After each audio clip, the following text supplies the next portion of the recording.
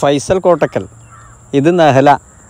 നഹല ഇപ്പോൾ അവാർഡ് വാങ്ങാൻ വന്ന വേദിയിൽ നമ്മുടെ നാട്ടിലേക്ക് വന്നതാ. ഒരുപാട് നാളത്തെ പരിചയമുണ്ട്. നഹല നമ്മുടെ ഒരാളുടെ ജീവിതത്തിൽ മാതാപിതാക്കൾ എത്രത്തോളം സ്വാധീനിക്കും എന്നതിന്റെ വലിയ ഉദാഹരണമാണ് നഹലയുടെ ജീവിതം. ഒരുപാട് കഷ്ടപ്പാട് പ്രയാസങ്ങളുടെ നടുവിൽ നിന്നും ഇപ്പോൾ ലണ്ടൻ സ്റ്റോക്ക് എക്സ്ചേഞ്ചിൽ ജീവനക്കാരിയാണ്. നല്ല എഴുത്തുകാരിയാണ്. നല്ല ചിത്രകാരിയാണ്. നല്ല രീതിയിൽ സംസാരിക്കും.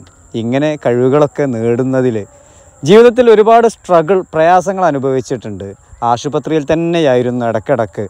പക്ഷേ അതിൽ നിന്നും നമുക്ക് പ്രചോദനം നൽകുന്നു. നമ്മളെപ്പോലുള്ള ആളുകൾ അത്ഭുതപ്പെടുകയാണ് നഹലയുടെ ഈ പ്രവർത്തനം എങ്ങനെയാണ് ചെറുപ്പത്തിലേ ആഗ്രഹിച്ചത്? അപ്പം ഉമ്മ പറഞ്ഞത് ചെറുപ്പത്തിൽ സ്കൂളിൽ പോകാനൊക്കെ ഭയങ്കര പേടിയായിരുന്നു. ആറാം ക്ലാസ് വരെ ഈ ഉമ്മ തന്നെയാണ് കൊണ്ട് നടന്നത്. പരീക്ഷയ്ക്ക് മാത്രം പോകും.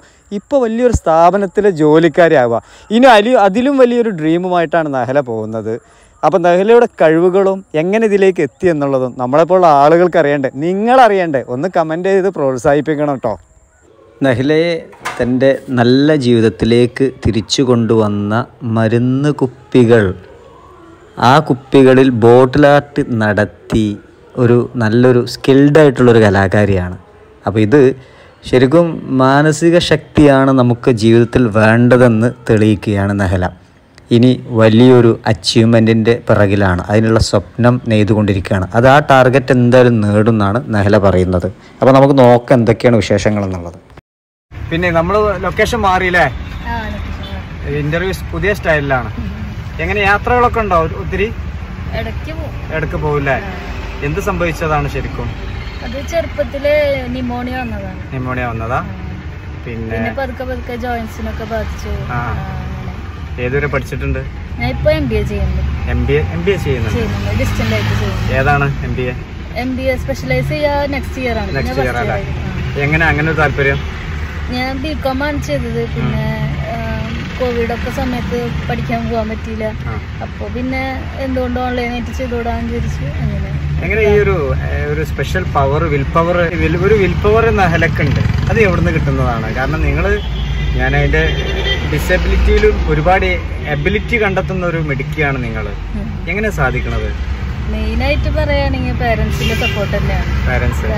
കാരണം ഇപ്പോൾ എനിക്ക് ബുദ്ധിമുട്ടുണ്ട് എന്ന് വിചാരിച്ചിട്ട് അവരെന്നെ എവിടേക്കും കൊണ്ടുപോയില്ല. അങ്ങനെയൊക്കെ ആണെങ്കിൽ പിന്നെ ഞാൻ എങ്ങനെ തന്നെ ഇരുന്നേനെ പക്ഷെ അവർ എന്തിനും. ഓക്കെയാണ്. അപ്പോൾ ഞാൻ വർക്ക് ചെയ്യാൻ പോയപ്പോഴായാലും എനിക്ക് ഓഫീസിൽ നിന്ന് ഓഫീസ് ഓപ്പൺ ആയി. അപ്പോൾ അങ്ങോട്ട് പോകണമെന്ന് പറഞ്ഞപ്പോഴും അവർ നല്ല ഹെൽപ്പായിരുന്നു അവർ അവർ കൊണ്ടുപോയി. അവിടെ ആയിരുന്നു. ഒന്നര മാസം അവിടെ നിന്നു. ഓഫീസിൽ പോയി വർക്ക് ചെയ്യാനൊക്കെ പറ്റി. ബാംഗ്ലൂരാണ്. ബാംഗ്ലൂർ ഏതാ company L S C G London stock exchange ഏതിന്റെ ബേസിൽ ഏത് ക്വാളിഫിക്കേഷൻ എന്താണ് അതിന്റെ? ബികോം ബികോം ക്വാളിഫിക്കേഷൻ ഇതൊക്കെ ജീവിതത്തിൽ പ്രതീക്ഷിച്ചിരുന്നു? ഇങ്ങനെ ജോബ് കിട്ടും അല്ലെങ്കിൽ ഇങ്ങനെ അച്ചീവ്മെന്റ്സ് കിട്ടും ഇങ്ങനെ അവാർഡുകൾ കിട്ടും എന്നൊക്കെ എപ്പോഴും പ്രതീക്ഷകൾ ഉണ്ടായിരുന്നോ? ജോലി കിട്ടണം എന്ന് എപ്പോഴും ആഗ്രഹിച്ചിരുന്നു. നല്ല ജോലി സ്വന്തമായിട്ട് അധ്വാനിക്കാൻ പറ്റണം എന്നൊക്കെ വിചാരിച്ചിരുന്നു. പിന്നെ വരയ്ക്കുമായിരുന്നു ചെറുപ്പത്തിൽ ഒത്തിരി ഞാൻ വരയ്ക്കുമായിരുന്നു. അപ്പൊ ഇതുവരെ പ്രൈസുകൾ അങ്ങനെ കാര്യമായിട്ടൊന്നും കിട്ടിയിട്ടില്ല. അപ്പൊ ഇപ്പൊ ഇത് കിട്ടിയത് വലിയൊരു അംഗീകാരം? ഇത് ഭിന്നശേഷിക്കാർക്കായിട്ടുള്ള സ്റ്റേറ്റ് സ്റ്റേറ്റ് സ്റ്റേറ്റ് ഗവൺമെന്റിന്റെ ഒരു മത്സരമായിരുന്നു. ജീവിതത്തിൽ മറക്കാനാവാത്ത നിമിഷം ഏതാണ്? ഏറ്റവും ഭയങ്കര ആഗ്രഹമായിരുന്നു എനിക്ക് ജോബ് കിട്ടിയപ്പോൾ എനിക്ക് കോവിഡിന്റെ അവസരത്തിലാണ് ജോബ് കിട്ടിയത്. അപ്പോ വീട്ടിലിരുന്നിട്ടാണ് ചെയ്തിരുന്നത്. അപ്പൊ എനിക്കൊരു ഓഫീസിൽ പോയി അവിടെ വർക്ക് ചെയ്യുക എന്നുള്ളതൊരു വീടിന്ന് ആ? വീട്ടിൽ നിന്ന് പുറത്ത് വീട്ടിൽ നിന്ന് പുറത്ത് പോയിട്ട് വർക്ക് ചെയ്യുക എന്നുള്ളത് വലിയൊരു ഡ്രീമായിരുന്നു അപ്പൊ അതിന് സാധിച്ചു. അത് വളരെ ഒരു മറക്കാൻ പറ്റാത്തൊരു അനുഭവം അതെ അതെ അതെ. ആഗ്രഹിച്ചിരുന്നു അങ്ങനെയൊക്കെ? തടസ്സങ്ങൾ ഉണ്ടായിരുന്നോ? എന്തൊക്കെയാ തടസ്സങ്ങളെന്ന് പറഞ്ഞെടുത്ത ആളുകൾക്ക്? നേരിടുന്ന വെല്ലുവിളികൾ എന്തൊക്കെയാണ്? വെല്ലുവിളികൾ അതിപ്പോ ഒരുപാട് അതിജീവിച്ചു? മെയിനായിട്ട് എനിക്ക് ഒറ്റയ്ക്ക് നിൽക്കാൻ പറ്റില്ല. അപ്പോ എന്റെ ഉമ്മ അതിന് തയ്യാറായിരുന്നു. ഉമ്മ എന്റെ കൂടെ വന്നു. അവിടെ വീൽ ചെയർ ആക്സസിബിൾ ആയിട്ടുള്ള റൂമൊക്കെ കിട്ടി. അത് ഭാഗ്യത്തിന് കിട്ടിയെന്ന് പറയാം. കാരണം എല്ലാവർക്കും മുകളിലൊക്കെ ആണല്ലോ. അപ്പോൾ എനിക്ക് പോകാൻ പറ്റാത്തത് എന്ന് വിചാരിച്ചു. പക്ഷെ കറക്റ്റ് കിട്ടി. അങ്ങനെ പോയി. പിന്നെ ട്രെയിനിലാണ് പോയത്. അപ്പൊ അപ്പോൾ ട്രെയിനിൽ കയറാനും അതൊക്കെ ഭയങ്കര ചലഞ്ചായിരുന്നു. ബാംഗ്ലൂർ യാത്ര? അതെ ബാംഗ്ലൂർ യാത്ര. ജോലി ഓഫീസിലേക്കുള്ള. ഉദ്ദേശിച്ചത്. അതെ അതെ. ഓക്കെ. അപ്പൊ അത് കുറെ ചലഞ്ചസ് ഉണ്ടായിരുന്നു. പക്ഷെ അതൊക്കെ അതിജീവിക്കാൻ പറ്റി. ഹലോ അസ്സാം വലൈക്കും എന്താണ് നിങ്ങൾ വാപ്പ ഉമ്മനെ കുറിച്ചാണ് പറഞ്ഞു കേട്ടോ മുഴുവനും. രണ്ടാളുടെ സപ്പോർട്ടാണ് എന്താ പറയാനുള്ള മകളുടെ ഈ ഒരു ടാലന്റ് ഒരുപാട് കഴിവുണ്ട് അലഹമില്ല ഇങ്ങനെ ഒരുപാട് കുട്ടികൾക്ക് ഉണ്ടായിട്ടും സപ്പോർട്ട് ചെയ്യാൻ ആളില്ലാത്തൊരു വിഷമാണ് പലയിടത്തുള്ളത്. പക്ഷെ നിങ്ങൾ നിങ്ങളുടെ ജീവിതം ഇവർക്കും വേണ്ടി മകൾക്കും വേണ്ടി സമർപ്പിച്ചിരിക്കുകയാണ് എന്താ ഈ അവസരത്തിൽ പറയാനുള്ളത്? വളരെ സന്തോഷാണ് അവളുടെ ഒരു എന്താ പറയാ എപ്പോഴും അഭിമാനമാണ് ഞങ്ങൾക്ക് അവൾ. അവൾ ഓഫീസിൽ ചെന്നാലും അവൾ പഠിക്കുന്ന സ്ഥാപനത്തിൽ ചെന്നാലും എന്നും ഒന്നാമതായി തന്നെ അവൾ ചെയ്യണത്. ചെറുപ്പം മുതൽ എങ്ങനെയായിരുന്നു ക്യാരക്ടർ ക്യാരക്ടർ പറഞ്ഞാൽ ആൾക്ക് ആദ്യമൊക്കെ ഭയങ്കര പേടിയായിരുന്നു സ്കൂളിൽ പോവാനും. എന്താ വെച്ചാൽ പിള്ളേരൊക്കെ അടുത്ത് വേദനയാണ്. എല്ലാ ജോയിന്റും അവൾക്ക് പെയിനാണ് അപ്പൊ ക്ലാസ്സിൽ പോകാനൊക്കെ ഭയങ്കര ബുദ്ധിമുട്ടായിരുന്നു. ആറാം ക്ലാസ് വരെ ഞാൻ തന്നെയാണ് പഠിപ്പിച്ചിരുന്നത്.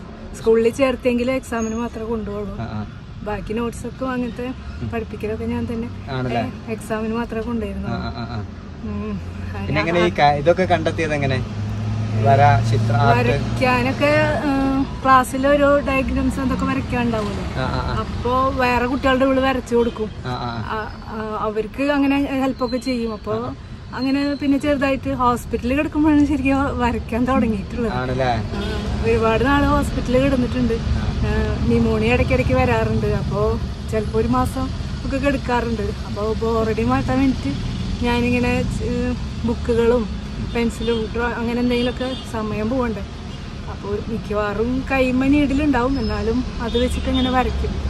അത് ശരിക്കും പറഞ്ഞാൽ ഞങ്ങൾക്ക് ഇങ്ങനെ ഒരു വരയ്ക്കാൻ ഭയങ്കരമായിട്ട് കഴിവുണ്ടെന്ന് മനസ്സിലായത് ജൂബിലി മെഷീനിൽ കിടന്നിരുന്നു.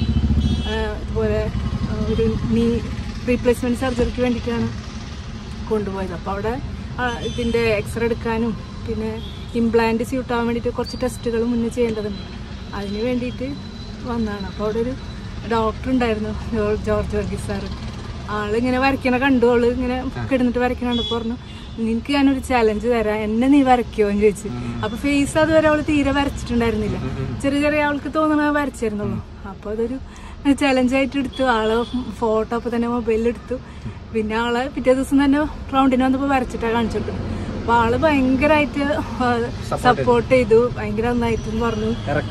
അതെ അതെ. വലിയൊരു ലൈഫിൽ ടേണിംഗ് പോയിന്റ് ആയില്ലേ? ഏത് ഡോക്ടർ ഓർമ്മ ഉണ്ടോ ആ, doctor George Varghese. George Varghese അല്ലേ? ഗംഭീരായി. പിന്നെ അവിടുന്ന് അങ്ങോട്ട് സപ്പോർട്ട് അങ്ങോട്ട് വരച്ചു. പിന്നെ ഒരു ഹോസ്പിറ്റലിൽ കിടക്കുമ്പോൾ അവിടുത്തെ ഡോക്ടർ വരച്ചിട്ട് പോരല്ലേ ഓക്കെ ഓക്കെ. ഏറെ സന്തോഷം. നിങ്ങളെ ഹസ്ബൻഡും കൂടെ തന്നെയാണ് അല്ലേ ആ കൂടെ ഫുൾ ടൈം ഉണ്ട്. ആ ഇപ്പൊ ഫുൾ ടൈം ഉണ്ട്. സപ്പോർട്ട് തന്നെയാണ്. പിന്നെ പ്രധാനമായിട്ട് ഇവൾ കാരണം ഞാനും കുറച്ചൊക്കെ ഇമ്പ്രൂവ് ആയത്. ഞാൻ ഡ്രൈവിംഗ് മാറ്റിയെടുത്തു അല്ലേ? കോളേജിൽ പോകാൻ വേണ്ടി ഡ്രൈവിങ്ങിനൊക്കെ ആദ്യമൊക്കെ എനിക്ക് പേടിയായിരുന്നു. പിന്നെ വേണ്ടിട്ട് ഇല്ല ഇല്ല വർക്ക് ചെയ്യണില്ല ഇവൾക്കും വേണ്ടിട്ട് ഡ്രൈവിംഗ് ഒക്കെ പഠിച്ചു. കൊണ്ടുപോകാനും എല്ലാത്തിനും ഞാൻ തന്നെയാണ് പോവുക പിന്നെ ഫ്രണ്ട്സിനെ കുറിച്ചിട്ടും പറയണം. എന്ന് വെച്ചാൽ അതെ. എന്റെ പേരൻസിനെ പോലെ തന്നെ ഫ്രണ്ട്സ് ആയാലും ഭയങ്കര സപ്പോർട്ടീവാണ് ആണല്ലേ? അവർ സപ്പോർട്ട് കാരണമാണ് ഇപ്പൊ കോളേജിലായാലും വർക്കിലായാലും ഒക്കെ ചെയ്യാൻ പറ്റുന്നത്. ഓക്കെ. വാപ്പാന്റെ പേരെന്താ? പാപ്പ റഹീം. ഉമ്മയുടെ പേര്? ഷബ്ന വീട്ടിൽ വേറെ ആരുള്ളത്? അനിയനുണ്ട് റിഷാൻ ഷാദില എനിക്ക് തോന്നുന്നത് എം എ യൂസ്ഫലി സാറിന്റെ ചിത്രം വരച്ചു. ശരിയാ? അതെങ്ങനെ ഉണ്ടായിരുന്നു എക്സ്പീരിയൻസ് വരച്ചിട്ട് സാറെ കാണിക്കാൻ തന്നെ ആയിരുന്നോ വരച്ചത് അങ്ങനെ ആഗ്രഹം ഉണ്ടായിരുന്നു? എങ്ങനെയാണ് അതിലേക്ക് എത്തിയത്? സാറെ വരച്ചിട്ട് പിന്നെ എങ്ങനെ സാർ അറിഞ്ഞത്? യൂസ്ഫ് അലി സാറ് വരച്ചിട്ട് പിന്നെ ഞങ്ങളുടെ ശരിക്കും പറഞ്ഞാൽ ഞങ്ങളുടെ നാട്ടുകാരനാണ്. ഓക്കെ. പക്ഷെ നാട്ടുകാരനായിട്ട് ആർക്കും ആക്സസബിൾ അല്ലല്ലോ. അദ്ദേഹം ഭയങ്കര ബിസി അല്ലേ? പക്ഷേ യൂസ്ഫലി സാറിനെ അറിയുന്ന കുറച്ച് പേരുണ്ടായിരുന്നു. അതായത് കുറച്ച് എന്താ പറയാ അസിസ്റ്റന്റ് പി എ അവരൊക്കെ അറി- അറിയണ കുറച്ച് പേരുണ്ടായിരുന്നു അങ്ങനെ അവർക്കൊക്കെ അയച്ചു കൊടുത്തു. എങ്ങനെയാലും സാറിനെ കാണിക്കണം എന്നുള്ള ഇതിൽ പിന്നെ എന്റെ ഉമ്മയുടെ വീടിന്റെ ബാക്കിലാണ് യൂസ്ഫ് അലി സാറിന്റെ വൈഫ് ഹൗസ് അപ്പോൾ ഞാൻ വരച്ച പിക്ചർ ഫ്രെയിം ചെയ്തിട്ട് അവിടുത്തെ ഉമ്മയുടെ കയ്യിൽ കൊണ്ടുകൊടുത്തു ആരമ്മ അടുത്ത്? യൂസ്ഫ് അലി സാറിന്റെ വൈഫിന്റെ ഉമ്മ. അപ്പൊ അവിടെ നിന്നാണ് ശരിക്കും കണ്ടത്. എന്താണ് ഭാവിയിൽ ഇനി എന്തൊക്കെയാണ് ആഗ്രഹങ്ങൾ ലക്ഷ്യങ്ങൾ എന്തൊക്കെയാണ്? ലക്ഷ്യങ്ങൾ ഇപ്പൊ ചെയ്യുന്ന ജോലി ഇതുപോലെ ബാംഗ്ലൂരാണ് ഞാൻ പറഞ്ഞ പോലെ. അപ്പൊ അവിടെ ഇപ്പോ ഹൈബ്രിഡ് വർക്ക് സ്റ്റൈലാണ് ഇനി ഫുള്ളി ഓഫീസ് ഒക്കെ ആണെങ്കിൽ എനിക്ക് പോവാൻ പറ്റുമെന്ന് അറിയില്ല. അപ്പോ എന്റെ ഒരു ഡ്രീം എന്ന് പറയുന്നത് യു എയിൽ ഒരു ജോബാണ് അതെ അപ്പൊ അവിടെ അറിയണവരൊക്കെ ഉണ്ട്. അതായത് റിലേറ്റീവ്സ് ഒക്കെ ഉണ്ട്. അപ്പോൾ അവിടെ കുറച്ചും കൂടിയും പിന്നെ നമ്മളെക്കാളും നമ്മുടെ നാടിനേക്കാളും ആക്സസിബിൾ ആണ് അവിടെ. അപ്പോൾ അവിടെ ഒരു ജോബാണ് ഇപ്പോഴത്തെ ഡ്രീം എങ്ങനെയാണ് ഇതൊക്കെ അതിജീവിച്ച് മുന്നോട്ട് പോകുന്നത്? അതിന്റെ സീക്രട്ട് എന്താ? അത് എന്തായാലും പേരൻസിന്റെ സപ്പോർട്ട് തന്നെയാണ്. പിന്നെ അവരാണ് എനിക്ക് ധൈര്യം തരുന്നത്. ഞാനിപ്പോ എന്തെങ്കിലും ഒരു പുതിയൊരു കാര്യം പറഞ്ഞാൽ അല്ലെങ്കിൽ ഇങ്ങനെ എനിക്ക് ചെയ്യണം എന്ന് പറഞ്ഞാൽ അവർ അതിനുള്ള ചലഞ്ചസ് എന്താന്ന് ഒക്കെ അതിജീവിക്കാനുള്ള ഒരു ധൈര്യം അതെ അവിടെ തന്നെയാണ്. പിന്നെന്താണ് മറ്റാളുകളോട് എന്താ പറഞ്ഞു കൊടുക്കാറുള്ളത് ഇങ്ങനെ എല്ലാ കഴിവും സ്കില്ലും എബിലിറ്റിയും ആരോഗ്യം ഉണ്ടായിട്ടും വെറും വേസ്റ്റ് ലൈഫ് പോകുന്നു. അവരോട് എന്താ പറഞ്ഞു കൊടുക്കാനുള്ളത്? ആരുടെയും ലൈഫ് വേസ്റ്റ് അല്ല എന്നാണ് എനിക്ക് തോന്നുന്നത്. അവർക്ക് അവരെ കൊണ്ട് എന്തൊരു ചെറിയ കാര്യമായാലും ചെയ്താൽ അതിനൊരു വാല്യൂ ഉണ്ട്. അപ്പോൾ നിങ്ങളെ കൊണ്ട് പറ്റുന്ന കാര്യങ്ങൾ നന്നായി ചെയ്യാം. ചിത്രം വരയ്ക്ക ഭയങ്കര റിസ്ക് അല്ലേ? എങ്ങനെ സാധിക്കാം? ആ എന്റെ കൈ കണ്ടാൽ എല്ലാവരും ചോദിക്കാറുണ്ട് എങ്ങനെ ഇത് പറ്റണെന്നൊക്കെ പക്ഷെ എനിക്ക് അഡ്ജസ്റ്റ് ആയി പിന്നെ കുഴപ്പമില്ല ഇപ്പോൾ ടൈം എടുക്കുന്നുള്ളൂ. ആരൊക്കെ വരച്ചിട്ടുണ്ട് ചിത്രം? ചിത്രങ്ങൾ മമ്മൂട്ടി. മോഹൻലാൽ ദുൽഖർ പിന്നെ നീമ്പോളി പോളി ടൊവിനോ